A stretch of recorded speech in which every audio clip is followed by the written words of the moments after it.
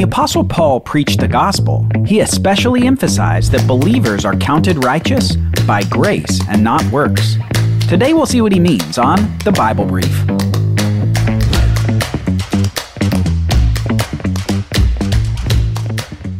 Okay, this episode and the next one are going to wrap up the portion of this jog through dedicated to the letters of the church that we find in the New Testament. We're barely scratching the surface of the depths of what's in these letters, but what we've tried to do is pick some of the most important points that can help you as you read the letters for yourself. We've spoken about the law that God gave Israel and the righteousness of God in the gospel. And today, we'll be looking at the relationship between grace, faith, and works. We've spent a considerable amount of time on the podcast talking about the relationship between faith and righteousness. We've said that believing in Jesus is the means by which we can receive the righteousness of God. Just as Abraham believed God and it was counted to him as righteousness, so we also believe God and it's counted to us as righteousness. We believe God's words in the gospel, and in believing, God counts his own righteousness to us. This is an amazing thing, and it's something that we could dwell on for a long time. But we're going to move on from this concept to something else that's emphasized in the letters of the New Testament. Today we're going to discuss the relationship between grace, works, and wages. All terms that we'll need to properly define before we move into explaining the relationship between them. First, we'll define grace. Grace is simply this God's charitable kindness. You can think of this as God's disposition to express His love even when humans don't deserve it. Grace is simply God's charitable kindness. Next is the term works. Works can refer to two things that are often mixed together in the New Testament. Works can refer to works of the law, which is obedience to the written law that God gave the nation of Israel. Or, works can refer simply to righteous acts, like helping someone in a time of need. In any case, we can just think of works as good things that people do. Finally, we have wages. You probably have an understanding of this concept already. When you go to work, you work and then get paid, you've received wages for your work. Wages are the owed payment for work completed. When you work, you're owed payment by your company, and they are in debt to you until they pay you your wages. Okay, so we have grace, which is simply God's charitable kindness. We have works, which are the good things that people do. And we have wages, which are the owed payment for work completed. Simple concepts, but critical for our discussion. Now, as we move through Paul's letter to the church in Rome, he begins a discussion around these concepts and expands on the discussion in a different letter to a church in a city called Ephesus. Ephesus would be found in the modern country of Turkey. So we're going to start in the book of Romans and then move over to the book of Ephesians in this episode as we discuss these concepts. Now, as we look at our first section in the book of Romans, keep in mind that Paul is extending one big discussion through much of the letter. We're going to hop into the middle of Paul's discussion after he's talked about the righteousness of God received by faith. He's shifted to a discussion of who gets the credit for this transaction of sorts. Now, Outside of Abraham's faith, it turns out that Abraham also did some good works. And Paul here clarifies that it wasn't the good works that made Abraham righteous. No, he says, it was through his faith in God that he received righteousness. Listen to Paul. He says this in the book of Romans, chapter 4. What then shall we say was gained by Abraham, our Jewish forefather? For if Abraham was declared righteous by works, he has something to boast about, but not before God. For what does the Scripture say? Abraham believed God, and it was counted to him as righteousness. And then Paul clarifies what he means by what he just said. Now, to the one who works, his wages are not counted as a gift, but as his wages.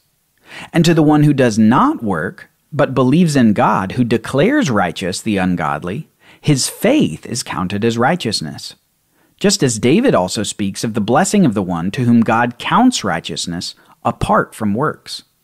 And then Paul quotes a song that was written by King David that says this Blessed are those whose lawless deeds are forgiven, and whose sins are covered. Blessed is the man against whom the Lord will not count his sin. Paul here is making this argument. He says something like, Abraham did some good things that we can read about in the book of Genesis. But when you read about the good things that Abraham did, don't think that it was because of these things that Abraham was declared righteous by God. If it was because of good works that Abraham was declared righteous, then God owed Abraham for his good works. But the Bible expressly says that Abraham was declared righteous because of faith, not because of the good things that he did. And then to underline the point, he uses another famous faithful man in the Bible to demonstrate that he knew this truth too. He quotes David's song, where King David says that the happy and blessed man is the one who has had his sins forgiven, atoned for, and uncounted by God. Said another way, blessed is the man who God counts righteous, even though he doesn't deserve it. Now, there's a term that we commonly have for receiving something that we've not earned. If we've earned it, it's a wage, but if we haven't earned it, it's a gift. Something from God's charitable kindness, what the Bible calls grace. And one of the Apostle Paul's big points is underlined in the fact that Abraham did not earn the righteousness from God. It underlines that righteousness from God is a gift that is received through faith. Christians don't earn the gift of righteousness because no one earns a gift. Instead, through faith, we receive this gift of righteousness from God by His grace, His charitable kindness. Paul, in his letter to the church in Ephesus, says it like this, which I'll lightly amplify.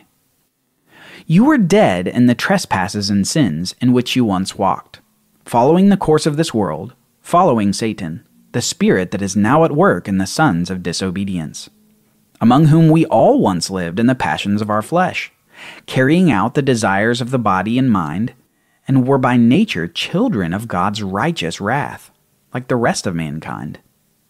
Paul here is basically saying that prior to believing in Jesus, everyone is unrighteous and subject to the death penalty for our sins. Then he says this But God, being rich in mercy, because of the great love with which he loved us, even when we were dead in our sins, made us alive together with Christ. By grace you have been saved, and raised us up with him, and seated us with him in the heavenly places in Christ Jesus so that in the coming ages he might show the immeasurable riches of his grace in kindness toward us in Christ Jesus. For by grace you have been saved through faith. And this is not your own doing, it is the gift of God, not a result of works, so that no one may boast. Paul says that because of God's mercy and love, despite our unrighteous deadness in our sins, God makes us alive with Christ when we believe in Him with our spiritual deadness gone and new spiritual life in its place. And he clarifies again so that we don't miss it. He says, By grace you have been saved through faith. And this is not your own doing, it's the gift of God, not something you did by good works. Now, listener, I need you to listen closely right now, because if you miss this, you will miss the message of the Bible. You'll miss the message of the gospel and you'll miss the character of God. It's this God saves us as a gift, and we cannot, no matter what we do, deserve the salvation and righteousness that God has provided. Nothing, no amazing righteous act, not selling all you have, not feeding the hungry, not performing miracles, not anything you could ever do could make God owe you the salvation as a wage for the work that you did. God's salvation of people is a gift that is born out of his love for the world, out of his charitable kindness. His gospel tells the world about this amazing gift, and in having faith, we receive this gift from God. When someone believes in Jesus, they have done nothing except admit their need for God to save them and trust in God to save them according to what He has said. Faith, it turns out, is like a pipe through which water flows. Faith itself can't quench the thirst of someone. The water, like the grace of God, is the solution to the thirsty person. The pipes are just the means by which we receive the water. Faith in Jesus is the means by which we receive the gift of God's righteousness because of his charitable kindness. Okay, so let's review the three main takeaways. 1. Abraham was not counted righteous by his good works, and neither are we. 2. Abraham was made righteous by God's grace through faith, and this is a gift from God, not wages from God. And 3. God giving this gift of righteousness is born out of His grace, His charitable kindness and love to a world that didn't deserve His love, but He gave it anyway. Now, these three takeaways will lead to our final discussion from the letters of the New Testament that we'll continue with tomorrow. We're going to talk about something very important that people tend to be confused about when they read the Bible. Next time, we'll be discussing the role of good works. If they don't earn us righteousness, if they don't earn us favor with God, what good are good works? Thanks for listening to the Bible Brief. Are you enjoying the podcast? Leave us a five star review on your podcast app. It will help people discover the Bible Brief and be exposed to the life changing story and message of the Bible. Thank you for helping us grow.